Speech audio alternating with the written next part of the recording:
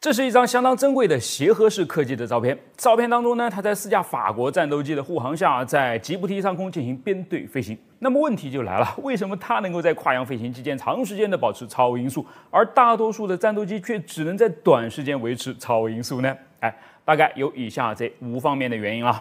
第一，发动机效率。协和式客机配备了专门为持续超音速飞行设计的强大发动机，它采用的罗罗奥林匹斯发动机呢，专门就针对高速性能进行了优化，拥有高效的燃油消耗率，使飞机能够在不过度消耗燃料的情况下，长时间的保持超音速速度啊。第二，结构设计。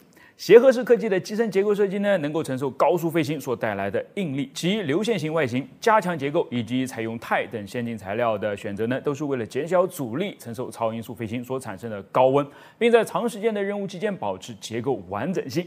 虽然啊，也会受到热胀冷缩的影响啦。比如在飞行期间呢，其飞行控制台的后面就会跟隔板之间凭空生出一个能够将帽子塞进去的缝隙啦。第三，燃料容量。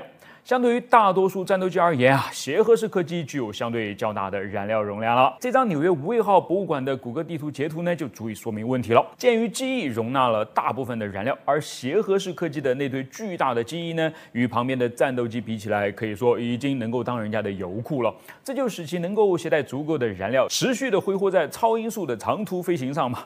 哎，第四，热管理。由于空气的压缩和摩擦，超音速飞行会产生大量的热量，所以协和式客机呢采用了先进的热管理系统来散热和管理机身在持续超音速飞行期间所产生的热量了。这包括将燃料当做散热剂来用啊，并结合冷却系统以防止过度的温度升高。第五，结构热处理。协和式科技的机身设计呢，考虑了在超音速飞行中所发生的膨胀和加热。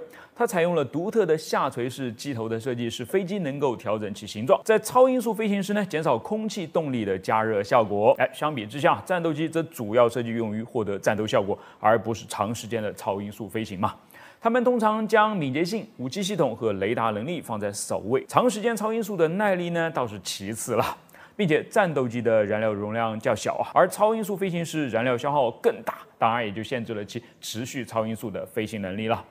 最后，战斗机的结构设计也没有对长时间承受持续超音速飞行所带来的高温和应力做过优化，所以啊，拼高速自然就是拼不过协和了。哎，实际上，为了完成这张协和是唯一的超音速飞行的照片呢，他还深深的把自己的速度给降了下来，将就旁边飞得较慢的狂风战斗机啊。